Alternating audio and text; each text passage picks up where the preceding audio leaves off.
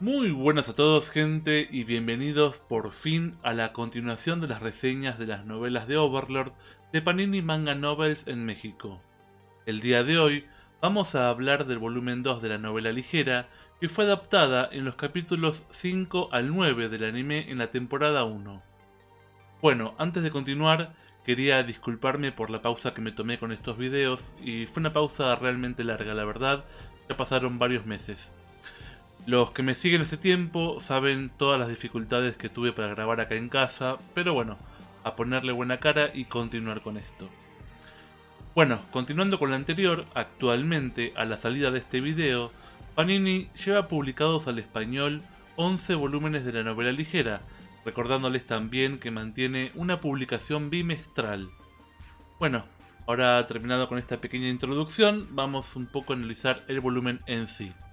Para ir comenzando, a primera vista, podemos observar una gran diferencia entre ambas versiones. A la izquierda, en la versión de Panini Manga Novels, podemos observar unos colores más suaves y claros. En cambio, a la derecha, en la versión original japonesa, podemos notar colores más oscuros y fuertes. Analizándolo más en profundidad a ambas versiones, podemos notar que mantienen un formato B6, ¿sí? Tanto la versión de Panini como la original japonesa.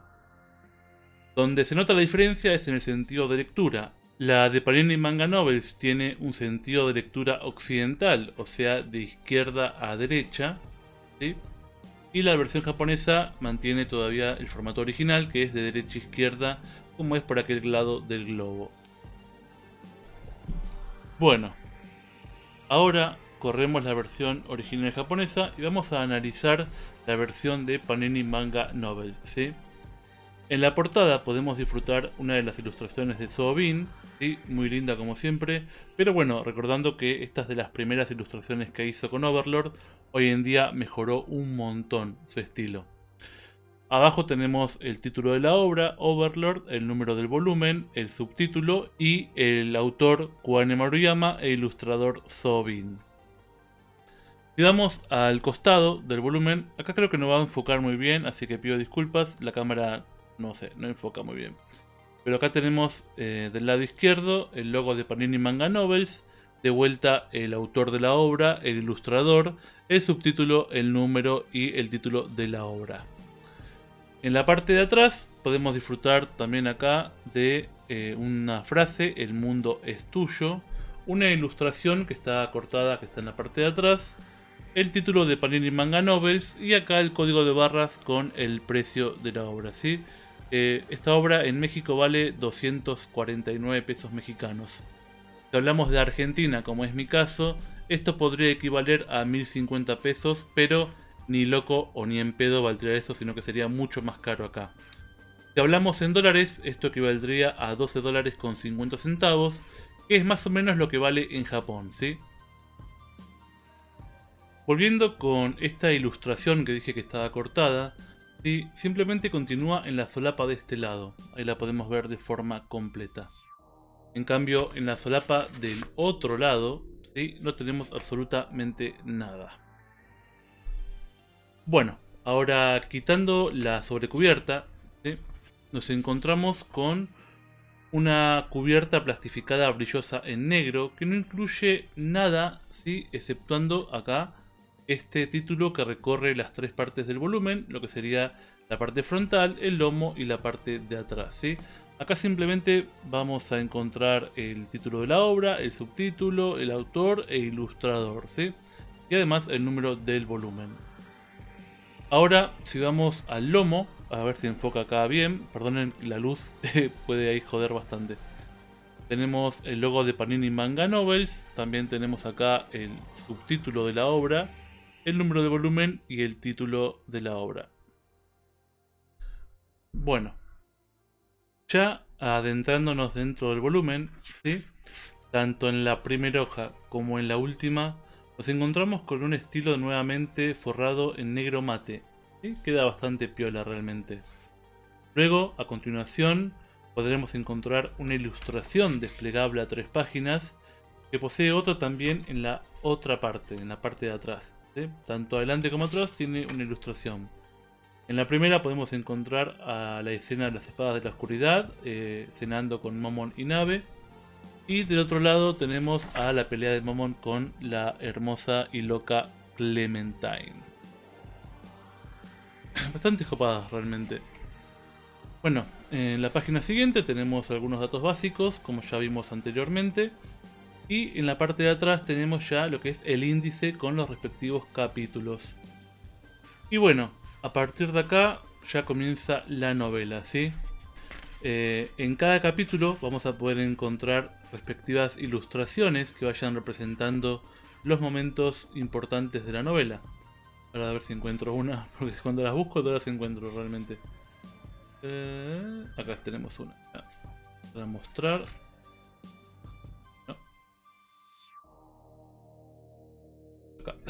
Perdón, eh. Están bastante copadas. Cada capítulo tiene su ilustración. Bueno. Esto es más o menos un análisis del volumen en sí. En la parte de atrás vamos a poder encontrar también eh, spoilers del siguiente volumen, en este caso el 3. También vamos a poder encontrar los créditos del volumen, ¿sí? a los autores originales, a quien trajo las licencias, a los traductores, etc. Pero hablamos un poco en el video anterior sobre esto. También no puede faltar ¿sí? lo que son las fichas de personajes. Estos es donde obtenemos mucha información sobre cada personaje. Es cierto que no salen muchas, pero bueno, Acá, por ejemplo, con Cocutus tenemos un error grosero. Si lo puedo enfocar bien. Fíjense que acá plantea que es nivel 100, pero tiene un nivel 40 de tal cosa y un nivel 70. Esto daría 110, cosa que es un error, sino que sería nivel 100. Eso lo vamos a ver en la versión japonesa después para mostrarles otro error, ¿no? Bueno, como un conteo general, este volumen tiene un total de 375 páginas con un toque color crema. La verdad que es fácil de leer. Es cierto que atrás se ven las letras de las páginas siguientes y eso puede molestar un poquito, pero bueno, no, no jode tanto. Son hojas bastante finitas, realmente. Son muy finitas, pero se lee bastante bien. Ok, Ahora vamos a hablar un poco más en profundidad de la obra, ¿sí? De este volumen. Luego de leerlo, tengo que decir que en aspectos generales la traducción es buena, mejoró un poco con respecto al volumen anterior, pero nuevamente podemos llegar a encontrar algunos errores como en el volumen anterior. Como un ejemplo, ¿sí? Les voy a mostrar el que hablé anteriormente, el de Cocutus, para que vean acá a lo que me refiero. ¿sí? Acá sí podemos observar bien. Dice que el total de adquisiciones nivel 40, total también nivel 70. estamos hablando de nivel racial y niveles de trabajo. Dan un total de, acá si sumamos, 110. Cuando lo correcto es 100, ¿sí? El error está acá en el 40, ya que si vemos la versión original... A ver si la puedo encontrar rapidito. Acá. Aquí. Si fijamos, acá está el 30 y el 70, dando 100. Es simplemente un error, pero bueno, si alguien que es nuevo lee eso, puede llegar un poco a confundirse, ¿sí? En esos aspectos no afecta en términos generales la lectura, para nada. La lectura se hace muy fluida gracias al tamaño de las letras y fácil de llevar, y podríamos encontrarnos con términos desconocidos. Aclaro, me ha pasado, pero no afectan en nada la lectura. Estos son puntos que yo remarcaría como una pequeña crítica y el resto son muy superficiales a mi parecer y no afectan en nada la historia ni la lectura. Algo que voy a decir repetidamente en esta clase de videos es que es grandioso poder tener las novelas de Overlord en este lado del mundo, ¿sí? y es bueno como fan de Overlord poder disfrutar de esta gran obra de forma también oficial. Obviamente es una compra asegurada y la verdad si tienen la posibilidad de comprarla, háganlo porque vale muchísimo la pena, ¿sí? Es algo muy hermoso para poder tener en físico y aparte original. Bueno, eh, ahora, ¿de qué trata un poco el volumen? No voy a entrar en mucho detalle, ¿sí? Simplemente nos narra una semana después de la llegada al Nuevo Mundo por parte de Nazarick, Ainz decide infiltrarse en la ciudad fortaleza de Rantel junto a una de sus sirvientas de batalla, Narvel Alganma, tomando el papel de aventureros con el nombre de Momon Inabe, ¿sí? En el transcurso de la historia de este volumen hay varias aventuras, ¿sí? Eh, se conocen nuevos personajes como los farmacéuticos Nifiria Variare y su abuela. ¿sí? También tenemos a las espadas de la oscuridad y a la hermosa y loca y simpática Clementine. ¿sí? Como dije, no quiero entrar mucho en detalle, ya mucha gente vio el anime, no hay mucho más para acotar, muchos leyeron ya la novela también, así que es un vistazo rapidito a lo que es el volumen.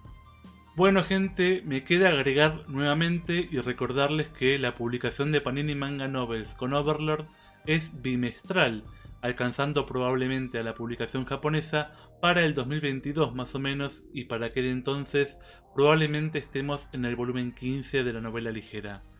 Desde ya le quiero agradecer a Panini Manga Novels por acercarme los volúmenes de Overlord hasta Argentina. Desde la comunidad de Overlord en español les deseamos muchísima suerte con los volúmenes por venir y agradecemos de todo corazón que hayan traído esta hermosa novela a México y Latinoamérica. Antes de irme, les quiero dejar este dato de Panini Lomas Verdes en México que está realizando envíos al exterior. Ya varias personas que han comprado me han comunicado que fue todo sin problema, así que les paso esta info si están interesados en comprar las novelas de Overlord como también cualquier material de manga o novela que esté en México. Con esto, ahora sí, llegamos al final. Espero que el video les haya gustado y espero realmente que me haya quedado bien y no muy acelerado, ¿sí? Eh, estoy un poco fuera de onda y fuera de costumbre a la hora de grabar estos videos, así que espero que haya quedado bien. Eh, próximamente sacaré los demás volúmenes de Overlord de Panini Manga Novels, así que el siguiente tratará del volumen 3, mi volumen favorito, así que le voy a poner muchas más ganas todavía. Y nada, gente, muchas gracias por todo y nos vemos la próxima.